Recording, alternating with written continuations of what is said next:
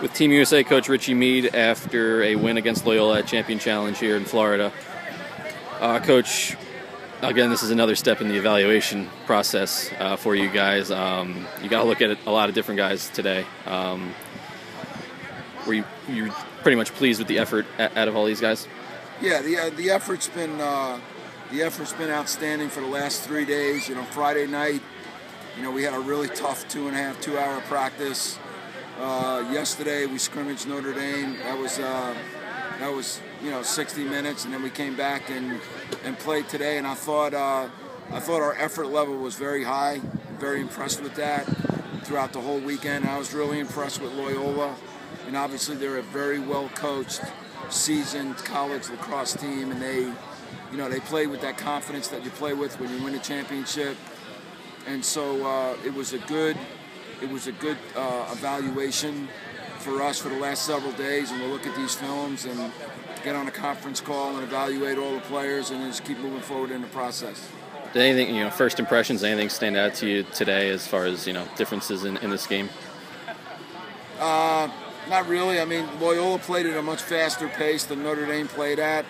You know, I think we were uh, we were a little bit more emotional today. And played a little bit uh, with a little bit more passion uh, than we played yesterday. I think you know, playing in front of a crowd in uniforms.